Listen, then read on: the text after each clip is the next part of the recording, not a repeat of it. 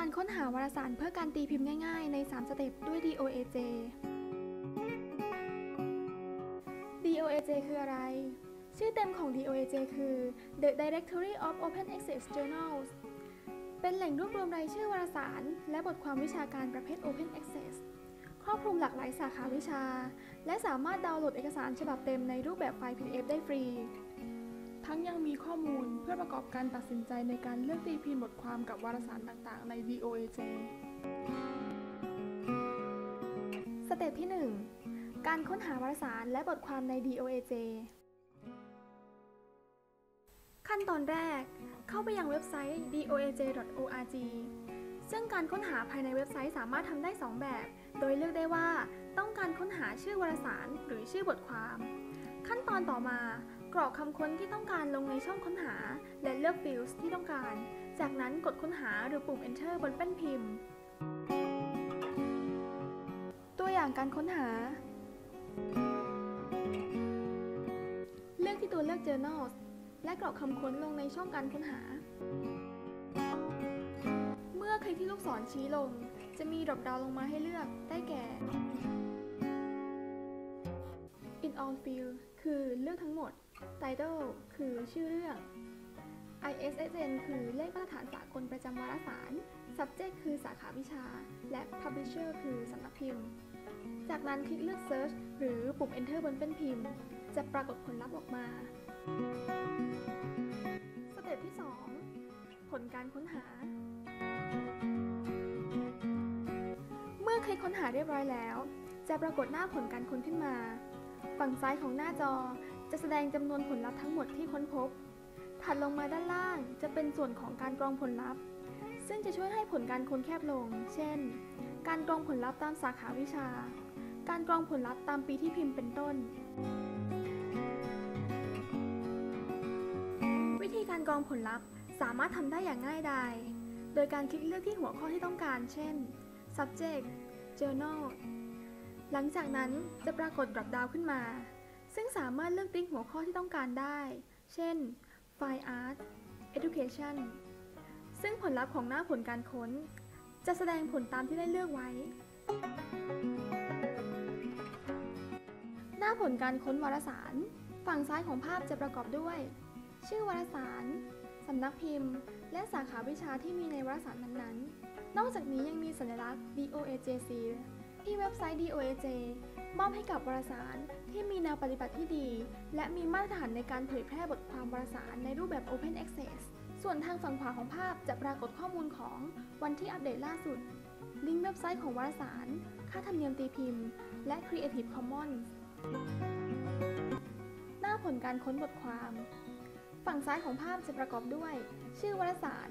ชื่อบทความ ชื่อผู้เขียน สาขาวิชา สำนักพิมพ์ และบทคัดย่อ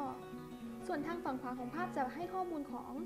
ลิงก์อ่านบทความวารสารฉบับเต็มในรูปแบบไฟล์ PDF ลิงก์ของข้อมูลเกี่ยวกับวารสาร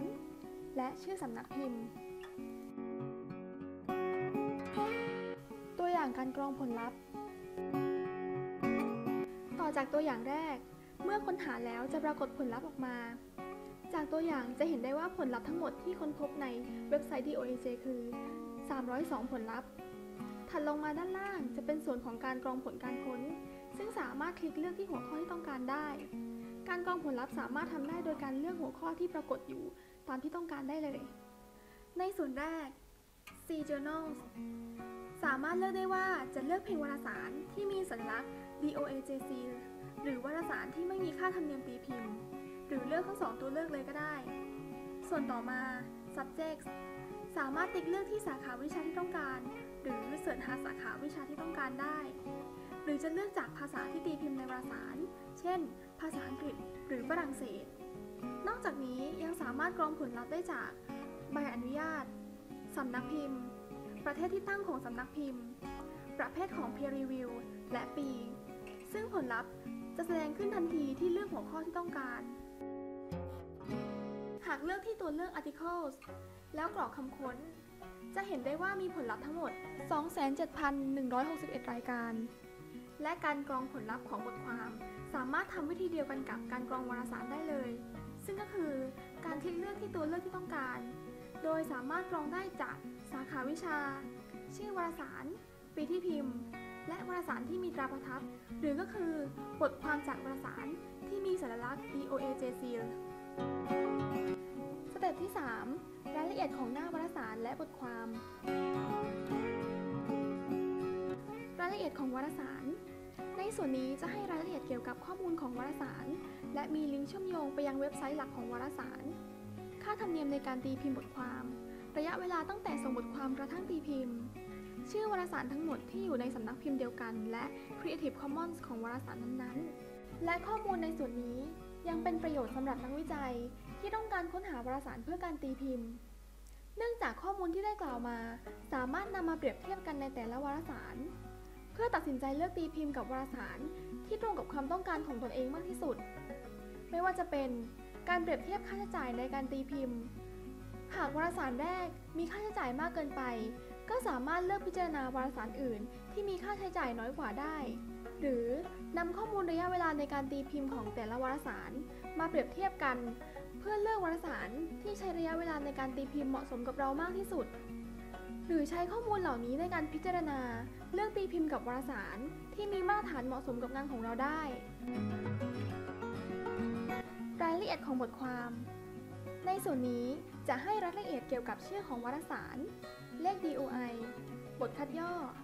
เลข ISSN สำนักพิมพ์ ประเทศของสำนักพิมพ์ สาขาวิชาที่มีภายใต้ชื่อวารสารนั้นๆ และสามารถคลิกเลือก Read ออนไลน์ เพื่อดาวน์โหลดบทความในรูปแบบไฟล์ PDF ได้